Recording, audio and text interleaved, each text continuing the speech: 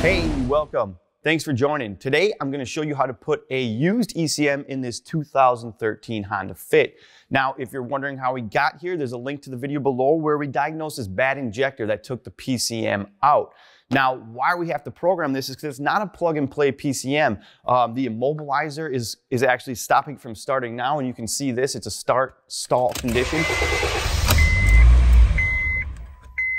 And then we also have to write the VIN into this use ECM to make sure that we don't get a P0620 trouble code. So we're gonna be using the Autel scan tool to do this. So let's get right into it. So I'm gonna start by going to the immobilizer. The immobilizer set up. We'll wait for this thing to communicate. And we will go to our special functions menu. And we're gonna go to replace ECM PCM. Okay. And we'll just let the scan tool think for a second here. It's just communicating with the module. Okay, it looks like it has been completed. We got to turn the ignition switch off.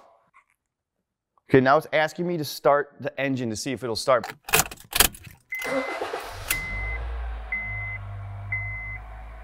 Okay, so this one actually did start, which is fine, but we still have to program that VIN in here. And if we look on here, is this a keyless entry system? I'm gonna select no. Okay, so now we're back at our special functions menu. So now we got to go back and we have to go back to the engine PGMFI. And that's where we're going to write the VIN in here. Okay, we'll go to special functions. And I'm going to go to VIN check. There is a PCM ECM replacement, but this is going to be more for if you're trying to grab data off the old ECM to put onto the new ECM. We're not going to use that. We're just going to go to VIN check. So this is the current VIN, and this is the uncorrect VIN of the vehicle. This is the cor correct VIN. That's the correct VIN. So we're to press OK. And now it's going to ask me to enter the VIN. OK. It looks like it had the correct VIN, but we'll manually enter it. So it must have pulled the current VIN from a different module in the car. Okay, so we got the current VIN entered. Press OK. And we have the correct VIN, so I'm press yes. Okay, so now we got the VIN programmed and we got the immobilizer program, but we're not done yet. We still have to make sure that the car is running good, make sure you don't have any trouble codes, and make sure the car is fixed. Remember, this thing came to us with a misfire, so that's what I really want to check. So I'm going to back out of here, go into engine, and I want to go to live data.